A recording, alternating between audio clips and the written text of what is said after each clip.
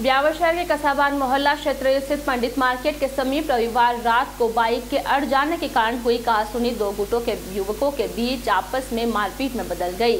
मारपीट की इस घटना में तीन युवक गंभीर रूप से घायल हुए हैं, जिन्हें उपचार हेतु राजकीय अमृतकोट चिकित्सालय ले जाकर भर्ती कराया गया है।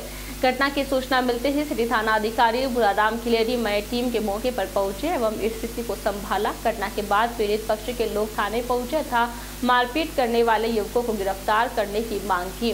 पुलिस फरार हुए, युवकों की तलाश कर रही है। बताया जा रहा है कि छावनी क्षेत्र निवासी हिमांशु दग्दी, मोनू दग्दी एवं सुरेश माली नामक तीन युवक बाइक पर सवार होकर रविवार रात को पंडित मार्केट की ओर गए थे, जहाँ उनकी बाइक एक युवक के अड़ गई। इस बात को लेकर दोनों पक्षों में कहासुनी हो गई। देखते ही देखते समाज विशेष के कुछ लोग मौके पर एकत्रित हो गए एवं तीनों युवकों के साथ मारपीट की, जिसके कारण तीनों जख्मी हो गए। सूचना के बाद मौके पर पहुँची पुलिस ने तीनों युवकों को एक ले जाकर उपचार हेतु भर्ती कराया एवं मेडिकल करवाया है। जैसे ही इस घटना की जानकारी छावनी क्षेत्र में लगी तो माली समाज के सैकड़ों लोग थाने पहुँच गए और मारपीट करने वाले समाज विशेष के लोगों को गिरफ़्तार करने की मांग करने लगे। उधर घटना की जानकारी के बाद डिप्टी मनीष चौधरी, उपखंड अधिकारी मधुर सिंह, विधायक शंकर सिंह रावत, सभापति नरेश कनौजिया सहित अन्य अधिकारियों ने भी मौके पर पहुंचकर स्थिति का जायजा लिया। उधर ब्यावर में घटित प्रकरण को लेकर मिली जानकारी के बाद देर रात को जिला पुलिस अधीक्षक सुनाराम जाट बीसीटी थाने पहुँचे तथा दोनों पक्षों से बातचीत करते हुए आरोपियों को शीघ्र गिरफ़्तार करने का विश्वास दिया। तब कहीं जाकर मामला शांत रहा।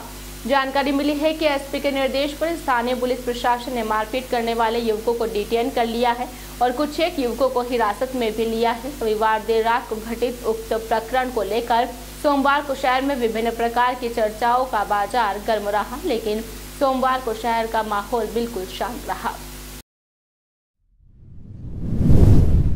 तो नौ बजे मोटरसाइकिल स्लिप होने की बात को लेकर के फिर आपस में लड़कों के बीच में झगड़ा हो गया था, जिस वजह से यहाँ ब्यावर के अंदर थोड़ा तनाव की सी सिचुएशन हो गई थी। जो समाज के प्रबुद्ध जन हैं, उन्होंने आकर के इस स्थिति को संभाला है और लोगों को समझाइश की है और हमारा जाब्ता भी पहुँच चुका है और स्थिति है, वो नियंत्रण में है। और जिन्होंने मारपीट की उनके खिलाफ मुकदमा दर्ज किया है। जल्दी ही उनको पकड़ करके सलाखों के पीछे कर देंगे